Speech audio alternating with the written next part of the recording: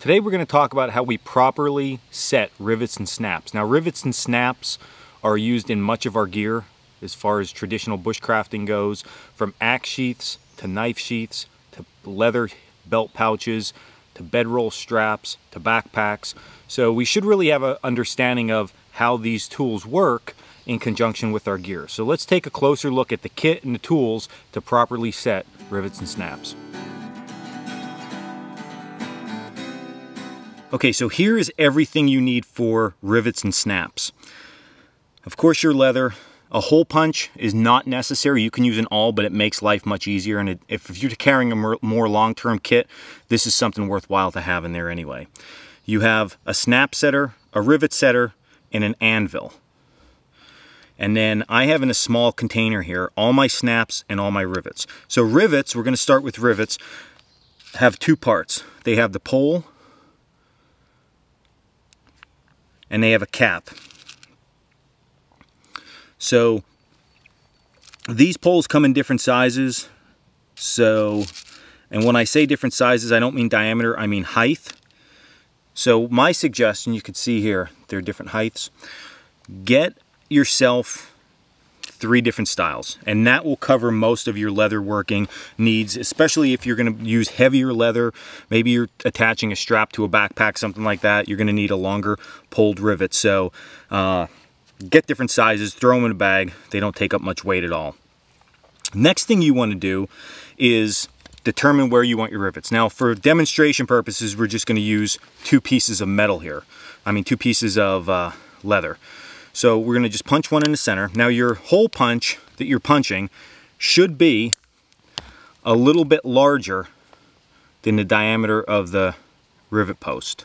Okay, you want a little bit of wiggle room in there. We'll go on the edge of this, punch our second hole, put that off to the side. Now, on these anvils, you could buy these at leather working shops. One side's flat, one side's domed. You want the flat side up to set a rivet.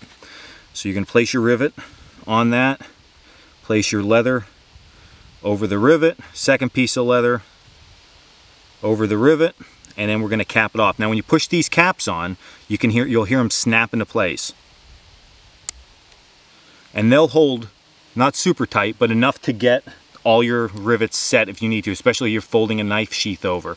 So you can see here on this axe sheath that I made, I put all these rivets in and then I went back and set them with the setter, okay? So once that's all taken care of, I always like to double check that we're in the center of our anvil.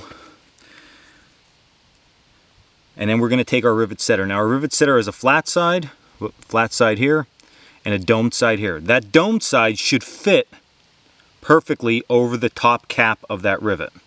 And then all that you're gonna do is you're gonna take this rivet setter and you're gonna hit the back of it a few times.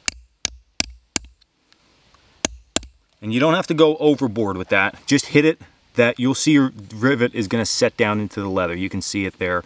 Hopefully that it's indented a little bit. Backside is nice and flat. Top side is set really well. And this thing is not going to pull apart. You'll end up ripping your leather apart or really damaging it long before you get to the point that you hurt your rivet. If you're worried about your rivet being too loose or anything like that, you know, you can go back in if you want. But once it's pretty much set, that's it. That's gonna be where it's at, okay? So that's how easy it is to set a rivet. A snap has four parts that we need to be concerned with. We have the bottom part of our snap and the top part of our snap. Now the bottom part is that part that's actually going to accept the snap itself, okay? So what we're looking at is the part of the snap that looks like a top hat and the pole with the flat side. So that is the first part we're going to work with. So what we want to do is take our piece of leather, determine where we need this placed, okay? So again, for our purposes, we're just going to place this in any section here. I'm not too worried about it. We're going to use our anvil again. This time, uh, still, we have flat side up. That beveled side is facing down. Place our bottom of our snap facing up. place it over our leather, and then place that top hat looking piece over that. Now at this point, we're gonna use a snap setter. So you can see this has a small nipple on the end. It will fit right inside that pole that's sticking up. Now all we wanna do at this point is start to hammer this down. And what's gonna happen then is if you can see inside there, all right, we beveled over that edge and that's held in there. So that's in there super tight. The back end is nice and clean. It's not folded over. We have the first part of our snap. Now we're gonna take our hole punch again and determine where we want to snap over to. So we know right about here, take it, hole punch it again.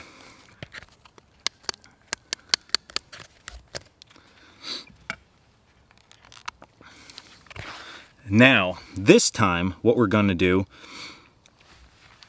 is first we wanna think about this is gonna be snapping this way. So we know that the top part of our snap, this is actually what snaps into the bottom part. So you can see this, this has a little ring inside, a pressure ring. That's what's gonna snap around the bottom piece, okay?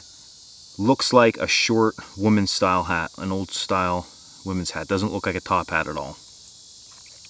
And then we have the back part of that, and that's an actually a domed piece, again, with some height to it, all right? So we know that this piece, for our purposes, needs to be here to snap together. So what we're gonna do is this time, take this domed piece and place this on the anvil, but this is where the domed anvil comes into play.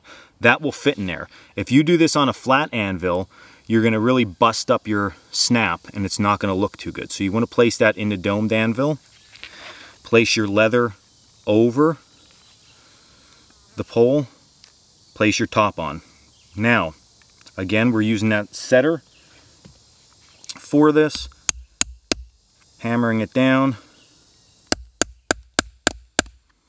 In place just like that.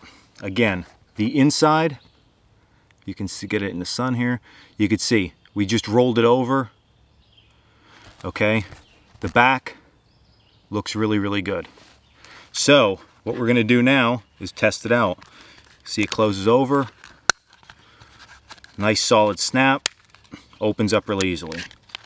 Snaps. Opens up really easily. So, very, very simple. Just have the right tools and it makes the job super easy. I hope you guys enjoyed this video. I know I really enjoy doing all this stuff. And this is not something that you're gonna probably carry in your everyday kit, but it is a skill set that you should probably know just because it lets you repair your gear, fix axe sheaths, make axe sheaths, make knife sheaths, enhance your leather product um, durability. So learn to do this stuff, guys, and it'll just help you out in the long run. Have the right tools, it makes life much easier. This was Dan Wowak of Coalcracker Bushcraft. If you haven't already, check us out at coalcrackerbushcraft.com. The Appalachian Bushman School's on that page with all our classes, training schedule, and everything else in between. And until the next video, stay in the woods, guys.